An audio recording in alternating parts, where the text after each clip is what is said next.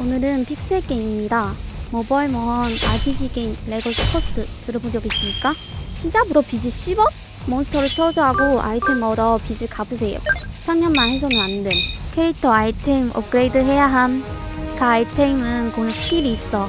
강화된 아이템은 사냥을 더수하게 게임 머니도 더 많이 모을 수 있음. 빨리 안 다운로드 하고 뭐합니까? 얼른 해보세요.